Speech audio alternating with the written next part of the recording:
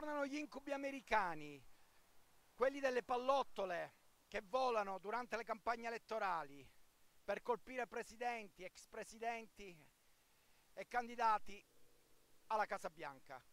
Questa volta è toccata a Donald Trump, colpito a un orecchio, ma poteva andare peggio.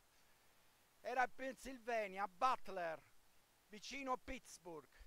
Aveva appena iniziato un comizio quando si sono sentite tre colpi, si sono sentiti tre colpi di fucile. Da lontano, ma non troppo lontano, sparati da qualcuno che non doveva essere lì ed era stato visto. Qualcuno in tenuta mimetica che saliva su un tetto e riusciva a sparare all'ex presidente che, vuole, che vuole rivincere la Casa Bianca.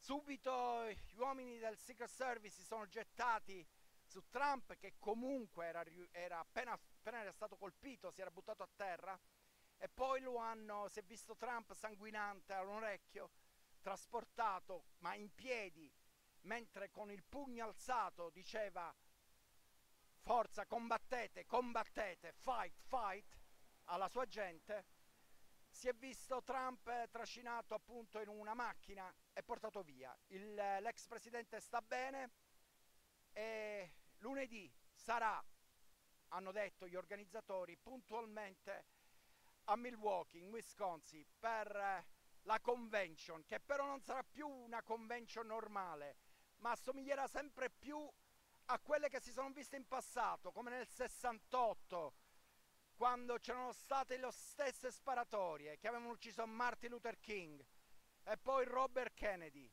Certo, persone diverse da Trump, ma dove l'obiettivo era lo stesso, non fare arrivare alla Casa Bianca un candidato che riceve molto consenso. In questo momento negli Stati Uniti si sta guardando indietro e si capisce che la storia si ripete.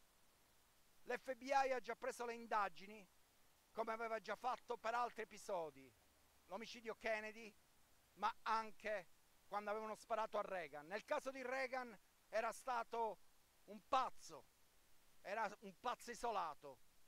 Adesso attendiamo chi sia quest'uomo che, abbia, che ha sparato a Trump Trump ha mandato subito dall'ospedale un messaggio, l'ha lasciato ai suoi social, dove ha spiegato come è successo, come ha sentito la pallottola fischiare, dove lui si è, forse perché si è voltato in quel momento per indicare, indicava un grafico dove parlava dell'immigrazione, un punto della sua campagna elettorale molto caro a lui, forse in quel momento quando si è girato si è salvato la vita.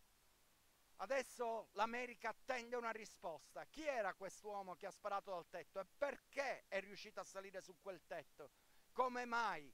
Come mai non, nessuno aveva fatto niente anche quando alcune persone l'avevano visto salire e l'avevano indicato alla polizia? Ma non si so, nessuno si è mosso in tempo. Quando però ha sparato, subito dopo i, i tiratori scelti del servizio segreto hanno sparato e lo hanno ucciso. L'America attende risposte. Noi sappiamo soltanto che da lunedì, da Milwaukee, vi racconteremo quello che sta accadendo. Sappiamo che la storia si ripete, che l'America è tornato nell'incubo.